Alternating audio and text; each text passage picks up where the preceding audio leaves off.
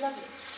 Dlatego też rano tu zawsze i wieczorem ustawiały się długie kolejki na do skorzystania z tych baraków, a średnio na tej części mieszkało 6,5 do 7 tysięcy więźniów, tylko trzy baraki sanitarne. Ustawiali się rano i wieczorem, przy drzwiach zawsze otwier ustawiał się funkcyjny, blokowy, bo każdy taki barak blokowego, najczęściej z kijem w ręku. Spędzał tutaj więźniów, bijąc ich po drodze. Mieli kilka sekund na to, by usiąść na otworach, spełnić swoją potrzebę fizjologiczną i być wypędzani z drugiej strony. Więzień, który robił to za długo, był bity i wyrzucany stąd. Zdarzały się takie przypadki, że więźniowie silniejsi byli słabszy, wyrzucali ich, by dłużej na otworach posiedzieć. Podobne sanitariaty również znajdowały się na części kobiecej, tyle, że otwory były troszeczkę większe. Dlatego też powodowało to to, że wiele kobiet wycieńczonych, nie mających sił usiedlić na tych otworach,